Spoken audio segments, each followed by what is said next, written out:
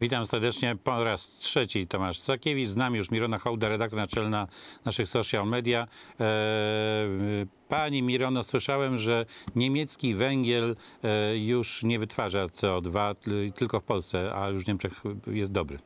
No tak, no właśnie. Dzień dobry Państwu, dzień dobry Panie redaktorze. Ta nasza Polska, a w szczególności polski rząd y, niedobry, bo kopalnie y, węgla brunatnego w Turowie nie zamyka. Y, A co się dzieje w Niemczech? A zobaczmy. Niemcy oficjalnie przyznali, że wolą węgiel od atomu. Gdzie są aktywiści klimatyczni? Za takie podejście wyrażane w takim momencie rząd powinien zostać zlinczowany. Niemcy wracają do energetyki węglowej. W piątek z powodu kryzysu gazowego w Niemczech parlamentarzyści Bundestagu i Bundesratu wyrazili na to zgodę. Przełom w myśleniu ekologistów? Elektrownie węglowe są bardzo szkodliwe, ale tylko w Polsce. Oczywiście to żart. Paliwo wyklęte, no nawet tak to było na, nazywane, y, wraca do łask i wychodzi na to, że co, że padliśmy ofiarą e, jakiejś ekościemy, czy jeszcze powinniśmy szukać drugiego dna? Powinniśmy znaleźć taką piosenkę Marleny Dietrich, gdzie jest węgiel z tamtych lat. E, Tak. I myślę, że to, by- że to by odpowiadało, bo w końcu to była Niemka. Wprawdzie nie lubiła Hitlera, ale była Niemka. To, to mogłaby, mogłaby taką piosenkę, no już nie żyje, ale pewnie, pewnie by to pasowało. E, ale nie, nie tylko ma, mamy problem z węglem na w Niemczech, mamy Ale- też inne problemy. Nie tylko, bo jeszcze mamy właśnie ym, dosyć sporo znalazłam hashtagów właśnie z państwem niemieckim i w tym tygodniu w trendach właśnie ukazało się kilka wątków, tym razem w kontekście pomocy Ukrainie. E, Jak wiemy Polska ym, na czele tutaj, e, a Niemcy co właśnie? No to co, to pokażmy. Bundestag odrzucił wniosek o szybkie dostarczenie Ukrainie 200 transporterów opancerzonych. Niemcy, Rosja, oni chcą nas uczyć moralności, praworządności i dawać lekcje tolerancji? Potomkowie faszystów? Donald Tusk. Co ty na to? Wojna na Ukrainie. Bundestag przeciw szybkiemu przekazaniu transporterów Fuchs Ukrainie. To w czym się wyraża jedność NATO, kiedy tu jej brakuje? W niezobowiązujących deklaracjach? A jak co do czego Niemcy są z Rosją, bo nie są z Ukrainą? Obiecanki. A są tacy, co dalej chcieliby oprzeć całe nasze bezpieczeństwo na Niemcach.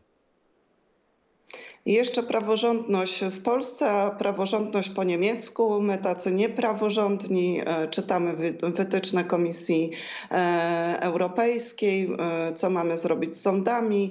Czytamy, że już niebawem wpłyną pieniądze z KPO. A jak wygląda wybieranie sędziów w Niemczech, pokażmy.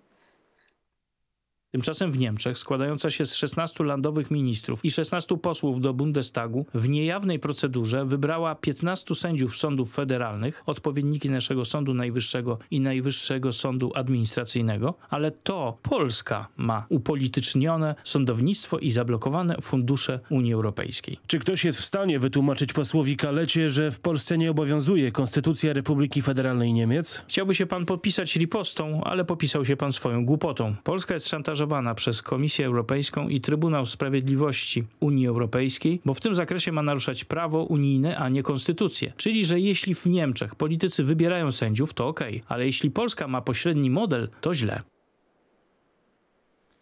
No ale nie tylko problem jest e, z praworządnością. E, Donald Tusk ucieszył się, że praworządność wraca do Wielkiej Brytanii.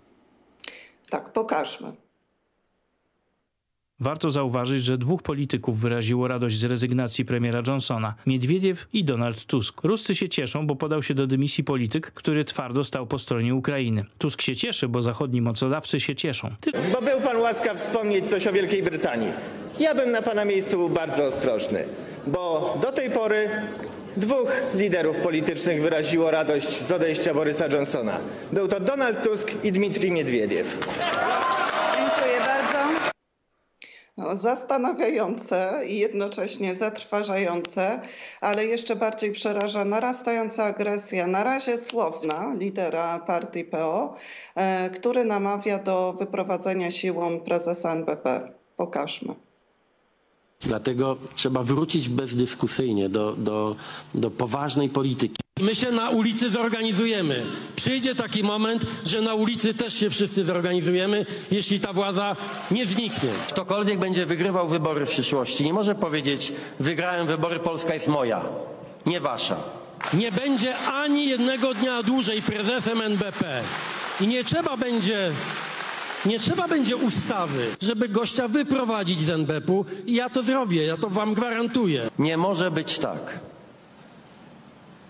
że władza raz do roku obchodzi święto Konstytucji, a na co dzień Konstytucja Kim są ci silni ludzie, którzy na rozkaz Tuska, Siemoniaka i innych przywódców PO mają wywlekać sędziów z Trybunału Konstytucyjnego, prezesa z NBP? Ćwiczą już na poligonie pod Berlinem? No to widzieliśmy demokrację po Tuskowemu i jeszcze Tusk mówi, że ja wam to gwarantuję. No to jest przerażające. E, Zresztą tak jak ich posłuchać, oni wszystko gwarantują, jak wygrają wybory. E, Nawet to, jak nie będzie inflacji, e, to, że nie będzie inflacji, no to po wygranych wyborach, tak? Dopiero się dowiemy, jaki jest, jakie jest rozwiązanie. I to tak od razu przypomina mi też piosenkę ze świata według kiepskich, kiełbasa, browary, ja tobie narodzie kochany dam, jak tylko wybierzecie mnie na prezydenta. Mm, Z portalu niezależna.pl też dowiedzieliśmy się, że prezes NBP tutaj e, rozważa e, pociągnięcie Tuska do odpowiedzialności. Ale to nie tylko, szanowni państwo, e, Donald Tusk, mm, bo bardzo podobna narracja stoi po liderze Agrounii. I pokażmy o co chodzi. Rolnik Kołodziejczak i jego traktor. Kołodziejczak mówi to, co Tusk, więc w nagrodę dostał uścisk od Tomka Grodzkiego, pełniącego akurat obowiązki marszałka Senatu. Czy to przypadek? Najpierw miłe spotkania, a potem nagonki na PiS, którym organizatorem jest I teraz hasło! Glapińskim atole! Ludzie będą wisieć przez ciebie w stodole! Glapińskim atole! Ludzie będą wisieć przez ciebie w stodole! Życia trochę ludzie! Muszą was słyszeć! Nie wyszkolili go w e, układaniu okrzyków. Musi przejść na, szko- na przeszkolenie do klubu gazety. Chyba trochę się obraził na, na swoich ludzi z manifestacji. No i podobna właśnie narracja jak w Platformie Obywatelskiej. Też spotkał się z marszałkiem Grodzkim i pytanie, czy tu mamy nowego koalicjanta. No poczekamy, zobaczymy. Już z tą refleksją państwa... To jest ten jeden z tych silnych ludzi, których chce przyprowadzać Siemoniak do przekonywania pana. Już jednego poznaliśmy, pana Kołodziejczaka. Bardzo No to dziękuję. Dziękuję bardzo. Mirona, Mirona Hołda, redaktor naczelna mediów, social mediów e, e, naszej strefy. Dziękuję bardzo. A ja już za chwilę zapraszam na program Maćka Korzuszka, Ameryka, Polityka i Dolary. A przypominam, że 20.10 koncert Wlady Murawiec, koncert Pokój Ukrainie.